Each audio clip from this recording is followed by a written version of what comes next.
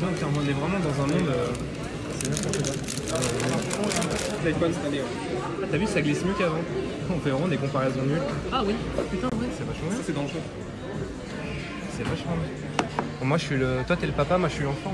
Vous êtes 2800 abonnés à me suivre sur YouTube. Merci beaucoup. Salut à toutes et à tous, bienvenue aujourd'hui pour cette nouvelle vidéo. Aujourd'hui, vous l'avez vu, on va dire que j'ai fait un achat absolument pas raisonné, absolument pas rationnel, mais je l'ai fait. Je me suis offert l'iPhone 11 Pro. Je suis pas le premier à en parler, je serai certainement pas le dernier non plus, mais je vais essayer de ne pas reproduire copier-coller ce que font la plupart des youtubeurs. Je vais vous parler de ce téléphone, ça va pas être un test, je vais vraiment aborder certains sujets, certains aspects de cet iPhone qui m'ont beaucoup plu, et tout ça sous une forme un peu décontractée. Hein. On va pas faire quelque chose de très solennel. On va essayer de rester assez accessible, et je vais tout simplement vous dire ce que je pense de cet iPhone 11 Pro. C'est parti. Bon alors d'abord, vous l'avez remarqué, je vous montre la boîte mais je vous montre pas le téléphone. Un peu bizarre. Tout simplement, je sais pas si vous l'avez remarqué, mais c'est lui qui est en train de me filmer. Il me filme grâce à l'aspect qui a pour moi été la meilleure nouveauté sur cet iPhone et on commence par là, la photographie et également la vidéo. Je le précise du coup, je suis bien filmé avec l'iPhone en 4K 60 images par seconde avec l'optique ultra grand angle. La prise de son, c'est pareil, on est également ou en tout cas je suis également enregistré grâce au micro de l'iPhone donc ça vous permet de juger un petit peu, brancher un casque pour voir vraiment ce que ça donne. La photographie, vous l'avez peut-être remarqué si vous avez regardé la keynote d'Apple, mais ça a été le plus gros morceau. Je crois que on n'a jamais autant parlé de photographie lors d'une keynote présentant les nouveaux iPhones. Certains diront qu'Apple avait du retard dans ce domaine et qu'ils ont tenté de le rattraper, peut-être. Mais en tout cas, les nouveautés sont présentes et on les oublie pas puisqu'on voit ces trois objectifs à l'arrière du nouvel iPhone. Actuellement, je me filme avec l'optique grand angle, un peu typé fisheye. Vous le voyez certainement, les contours sont un peu déformés, ça donne un effet. Il y a également la focale standard, présente sur tous les iPhones, avec un cadre beaucoup plus réduit. Celui-ci, bon là vous voyez, c'est beaucoup plus... Voilà, vous avez compris. C'est pas le plus adapté, en tout cas pas pour faire des podcasts un peu comme j'ai l'habitude de le faire. Bon et puis vous avez, euh, voilà, euh, la focale deux fois, la focale x2 en zoom optique, donc c'est-à-dire qu'il n'y a pas de déperdition de qualité et ça augmente, ça permet de zoomer en x2. Bon, vous voyez que à part voir peut-être euh, mes imperfections, c'est pas top. Enfin, c'est normal. En tout cas, euh, dans le cadre encore une fois d'une vidéo filmée dans sa chambre, c'est pas top.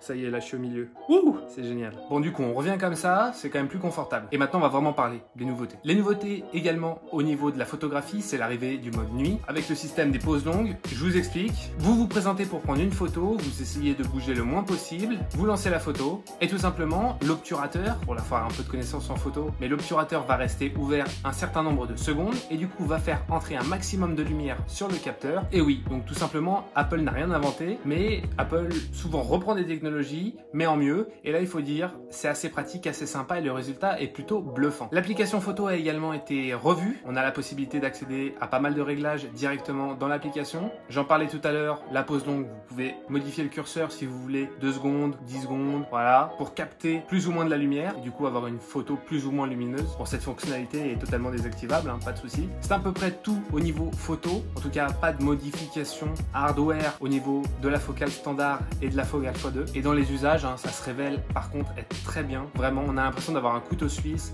ultra grand angle, grand angle, euh, focale deux fois. Bref, on a de quoi s'amuser jusqu'au point où moi-même je me dis est-ce que je me séparerais pas de mon appareil photo qui est quand même assez encombrant, assez lourd pour le remplacer par l'iPhone? Sachez que j'y réfléchis. Sachez également que la stabilisation a une fois de plus été revue sur cet iPhone et elle est vraiment super performante. Ça donne la possibilité de faire de superbes photos et de très très bonnes vidéos grâce à cette stabilisation. Donc si vous voulez un iPhone excellent en photographie et également en vidéo, car n'oublions pas, il filme quand même en 4K 60 fps, imaginez avec cet ultra grand angle, on est presque sur une GoPro, certes absolument pas aussi résistante qu'une GoPro, mais quand même, on est quand même sur des très très grosses caractéristiques et c'est pas pour rien que beaucoup de réalisateurs de films n'hésitent plus à utiliser des iPhones leur production. Je ne vous ai pas parlé également de la caméra frontale. Et là aussi, elle filme cette fois-ci en 4K 60 fps.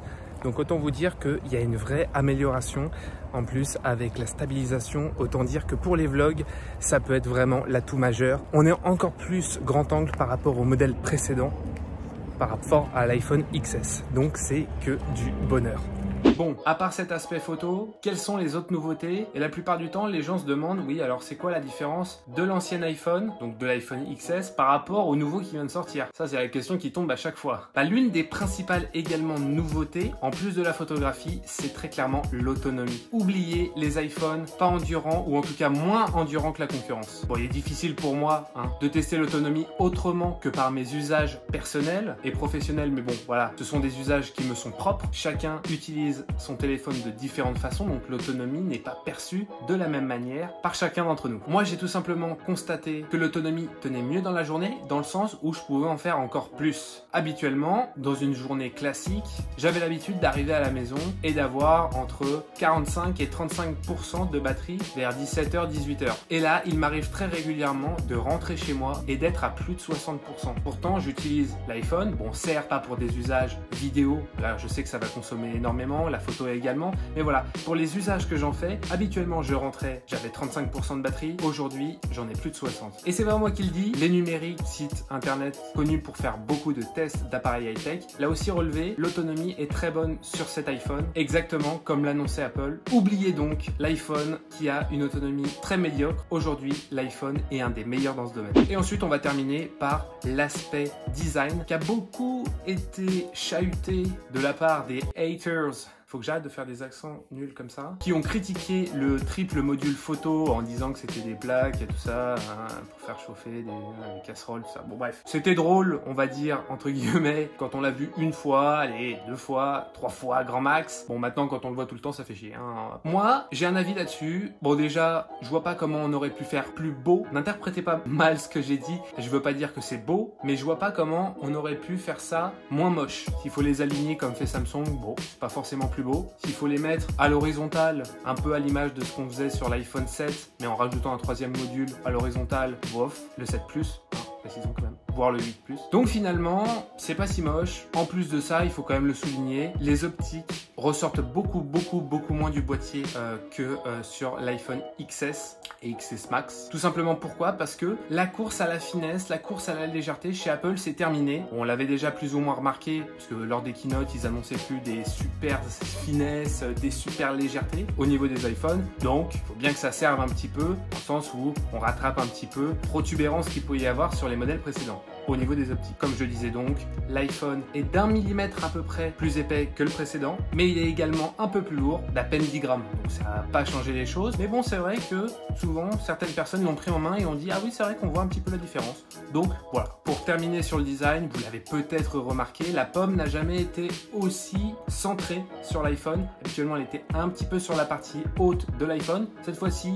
elle est beaucoup plus centrée. Je crois que c'est le premier iPhone hein, où on retrouve la pomme au milieu comme ça. Bon, je pense que c'est un détail facultatif, mais un détail intéressant quand même de design. Surtout que également vous aviez peut-être l'habitude de voir en dessous certaines normes, certaines petites inscriptions qui étaient notées, où ça vous disait justement que euh, le produit respectait les normes CE, il y avait une petite poubelle barrée, comme quoi il fallait pas le jeter à la poubelle. Bref, ces indications ont été réduites et sont encore moins visibles et ça rend cette coloris vert nuit absolument magnifique. C'est pour ça que j'ai pas hésité à prendre cette nouvelle, enfin ce nouveau coloris. Et parce que c'est un coloris, une coloris. Bref. En tout cas, voilà, on arrive bientôt à la fin de cette vidéo, mais tout ça pour dire que je suis très satisfait de cet iPhone. Bien évidemment, j'aurais pu donner des points négatifs, mais je me rends compte au fur et à mesure du temps que même si on essaye d'être objectif la plupart du temps quand on donne des points positifs et négatifs, il faut forcément qu'on soit un petit peu subjectif parce que c'est pas possible aujourd'hui, très clairement, de donner des points négatifs à cet iPhone en étant objectif. Soit on aime cet iPhone, soit on ne l'aime pas. Soit on a besoin de ses fonctionnalités, soit on n'en pas besoin. L'avantage avec cet iPhone, c'est que tout ce qu'il fait, il le fait bien. C'est pour ça que pour cet iPhone, je ne donnerai pas de points négatifs, tout simplement parce que les points que j'ai abordés juste avant, c'est pas pour moi des points positifs, c'est tout simplement des points que j'ai aimés. Mettons parfois un peu de côté l'aspect positif, l'aspect négatif. Arrêtons de ranger nos arguments dans des cases et profitons des différents appareils numériques que nous possédons. Aimez vos produits, aimez les utiliser, faites-vous plaisir, finalement c'est ce qui compte. Et puis de toute façon, si vous voulez des points positifs et négatifs, il y en a plein d'autres sur YouTube qui font de très bonnes vidéos et certainement beaucoup beaucoup mieux que moi. En tout cas, merci à tous de m'avoir suivi. On arrive déjà à la fin de cette vidéo. J'espère qu'elle vous a plu. Si vous avez des questions, n'hésitez pas à me laisser directement en commentaire. J'y répondrai avec grand plaisir. Vous pouvez vous abonner à la chaîne pour retrouver mes futures vidéos. Vous pouvez également laisser un petit pouce bleu pour m'encourager. On se retrouve pourquoi pas sur Instagram, mais également sur le site lié à l'actualité d'Apple, le site applenewsfrance.fr. En attendant, portez-vous bien et on se retrouve très bientôt pour une prochaine vidéo. Allez, Chao.